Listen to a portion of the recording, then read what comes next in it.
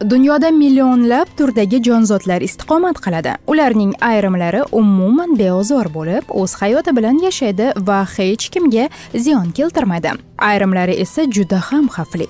Bugun iloji boricha uzoqroq turish lozim bo'lgan o'nta eng xavfli jonzotlar haqida gaplashamiz. Demak boshladik. Eng sifatli va eng ishonchli faqatgina doktor uz youtube kanalida. Nahang baliqlar yoki akulalar. Bunda akulalarning qandaydir bir turi haqida emas balki butun oila vakillari haqida gap ketmoqda. Chelusti filmini ko'rganmisiz? Birgina saundtrek dahshatdan qotib qolishgacha olib keladi.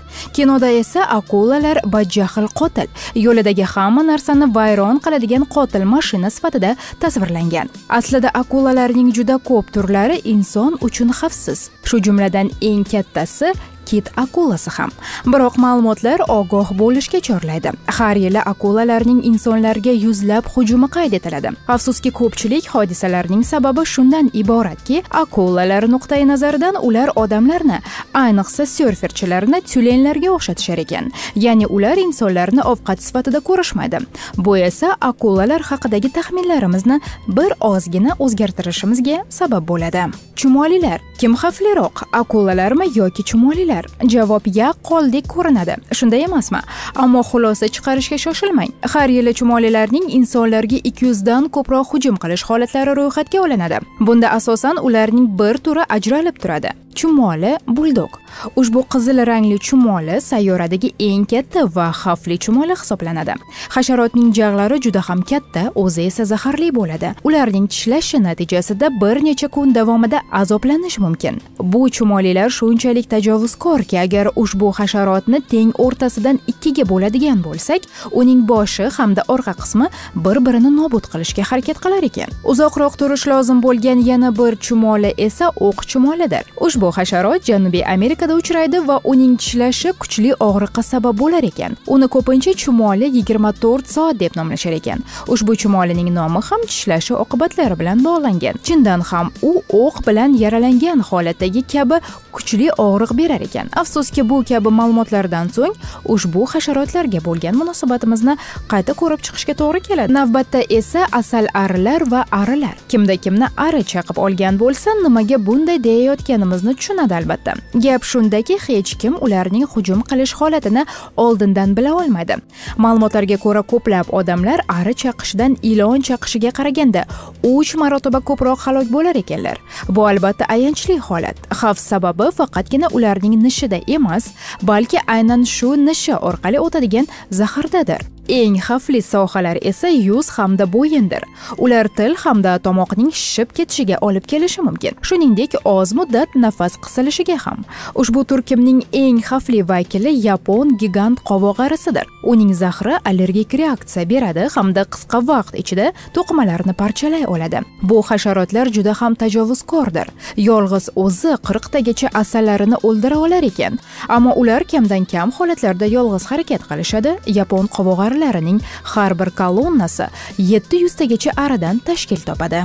Keyingi jonzotlar esa kiyiklar. Ishonish qiyin bo'lsa-da kiyiklar chindan ham xavfli mavjudot hisoblanar ekan. Har yili taxminan 300 kishi kiyiklarning qurboniga aylanishadi. Ushbu o'txo'r hayvonlar juda ham kuchli tuyoqlari hamda ulkan shoxlarga ega. Ular shaxsiy hududiga kirib kelgan har qanday mavjudotga juda jiddiy shikast yetkazishi mumkin. Kiyik bilan bog'liq so'nggi baxtsiz hodisalardan birida arkanzas shtatidan bo'lgan erkak aziyat chekkan. U jonzotni o'qqa tutgan va uni allaqachon o'lgan deb hisoblagan. Ammo xulosa chiqarishga shoshilgan edi. Kiyiklar bilan bog'liq ko'pchilik halokatli holatlar yo'ldan o'tayotgan paytda sodir bo'lar ekan. Odatda oqshomda yoki tong yorishayotgan paytda. Agar bunga uyqusirayotgan haydovchini ham qo'shadigan bo'lsak halokatning yuzaga kelishi tayin. Faqatgina aqshning o'zida bug'ularning katta yo'lni kesib o'tishi oqibatida har yili bir yuz elliktaga yaqin holat qayd etiladi. Kiyiklar esa stress paytida kutilmagan ishlarga qodir bo'lishar ekan. Ular o'z bolalarini ayiq onalardan kam bo'lmagan darajada himoya qilishadi. Navbat fillarga ular biram yoqimtoy xavfli bo'lishi umuman mumkin emas deb o'ylaydi ko'pchilik. Fillar deganda mehribon aqlli va hech qachon hech nimani unutmaydigan hayvonlar ko'z oldimizga keladi. Ammo fillar kutilganidan ham ko'ra ko'proq xavfli jonzot hisoblanadi. Fillar yaralangan bo'lishsa yoki xavf xatarni sezishsa hujumga o'tishadi. Mashhur dambo multfilmidagi parchada ham filchaning oyisi uni qanday himoya qilganini yaqqol ko'rsatilgan. Fillar juda ham katta bo'lganligi sabab hujum qilishsa buning oqibati yaxshi tugamasligi tayin. Afsuski har yili besh yuzdan ko'p bu kabi holatlar ro'yxatga olinadi. Odatda bosh rolda podadan quvilgan yoki bolasiga juda ham g'amxo'r ona fillar bo'lishadi. Keyingi jonzot bu begemotdir. Afrika aholisining ta'kidlashicha begemotlar timsohlar sherlar va gepardlarni birgalikda hisoblagandan ko'ra ko'proq insonlarga hujum qilishar ekan. Bu jonivor o'lchami bo'yicha fil va karkidondan keyin yerdagi uchinchi eng katta hayvondir. Yaqin qarindoshlari aytsam ishonmaysiz kitlar ekan. Faqat bundan 55 million yil avval alohida bo'lib ajralib ketishgan ekan. Begemotlar ko'llar va mangra botqoqliklarida istiqomat qilishadi. Qol balchig'ida yuvinadi va kamdan kam hollarda o'tloqqa chiqish uchun qo'lni tark etishadi. Ular kuniga 30 kilogrammgacha o'simlik iste'mol qilishadi. Begemotning kuchli jag'lari katta buyumlarni ham oson ezib yubora oladi. Har yili begemotlarning insonlarga taxminan 500 ta hujumi holati qayd etiladi. Ular umuman kutilmagan holatda ro'y berar ekan. Hujjatlashtirilgan bir holat mavjud. Ayol bir necha oylik begemotni uyiga olib keladi. Hayvon xuddi qo'lga o'rganilgandek tuyuladi va hattoki unga birga suzishga ham ruxsat beradi. Ammo bir kuni uy bekasi tez yordam chaqiradi va shifokorlar ayolda ushbu begemotning tishlashidan qolgan juda ko'p izlarning guvohi bo'lishadi. Keyinroq begemot tasodifan ayolga hujum qilgani hamda suv tagiga cho'ktirgani ma'lum bo'ladi. Ayolning qanday qilib tirik qolgani hayratlanarli albatta. Bizningcha bu ayol uchun yechim bitta. Yaxshisi mushuklar yoki to'tiqushlarni uy hayvonlari sifatida boqishi tinchroq. Navbatdagi o'rinda esa timsohlar albatta. Ushbu sudralib yuruvchilar 200 million yil umr ko'rgan bo'lib dinozavrlarning tengdoshlari hisoblanishadi.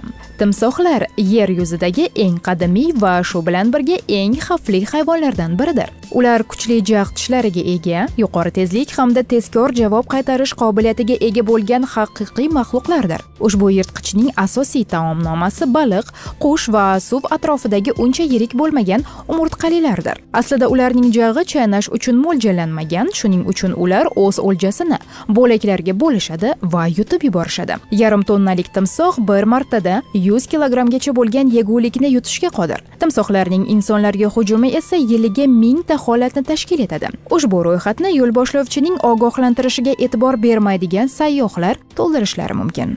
Keyingi navbatda esa itlar. Yana bir hayron qolarli ma'lumot. Insonning eng yaqin do'sti uning xavfli dushmani ham bo'lishi mumkin ekan. Yuqorida aytib o'tilgan hayvonlar hujumlari birga hisoblanganda ham itlar ulardan ko'ra ko'proq insonlarga hujum qilishar ekan. Hazillashayotganimiz yo'q. Ma'lumotlarga ko'ra har yili yigirma ming hujum ro'yxatga olinar ekan. Ko'plab shunday holatlarning asosiy sababi quturish. Bu esa inson uchun o'limga olib keluvchi infeksiyadir. Yuqtirish virusi inson va hayvonning markaziy nerv sistemasini shikastlaydi. Bunda faqatgina emlash yordamga keladi. Ammo quturishga qarshi emlash it tishlagandan so'ng yigirma bir kun ichida qilinsagina samarali hisoblanadi. Kuchuklar bilan bog'liq qiyinchilik mana qayerda. Agarda sizga it tashlanmoqchi bo'lsa u holda qochib qutulish qiyin. Sababi ularning ko'pchiligi katta odamlarni ham osonlik bilan quvib yeta oladi. Va ro'yxatimizning so'nggisi mingoyoq ular yerdagi mavjudotlardan ko'ra ko'proq o'zga sayyora mavjudotlariga o'xshaydi. Mingoyoq dahshatli ko'rinishga ega maxluq bo'lib tashqi ko'rinishining o'zi ham tahlikaga solib qo'yishi mumkin. Mingoyoq tishlashi kamdan kam hollarda o'lim bilan tugaydigan holatga olib kelsada juda ham kuchli og'riq keltiradi. Hozirgi mingoyoqlar sizni qochishga unday olmasligi mumkin ammo ularning bunga qodir bo'lgan bir ajdodi bo'lgan artoplevra artoplevra paleozoy davrida yashagan hamda ikki yarim metr uzunlikka ega bo'lgan. U xuddi zamonaviy mingoyoqlarga o'xshab o'lik o'simliklar bilan oziqlangan ammo baribir juda ham qo'rqinchli bo'lgan. Artoplevra yuzlab oyoqchalari bilan chaqqon qadam tashlab tez harakat qila olgan. Unga qaragan har qanday jonzotda vahima uyg'otgan. Kimdir uni ovlamoqchi bo'lganligi esa ehtimoldan yiroq bo'lgan. Shunday qilib do'stlar bugun biz iloji boricha uzoqroq turish lozim bo'lgan 10 ta eng xavfli jonzotlar haqida gaplashdik. Ishoning biz bu video bilan sizni qo'rqitmoqchi emasmiz faqatgina ogohlikka chorlamoqchi bo'ldik. Gapimiz so'ngida esa o'zingizni ehtiyot qiling deb qolamiz. Ko'rishguncha omon bo'ling.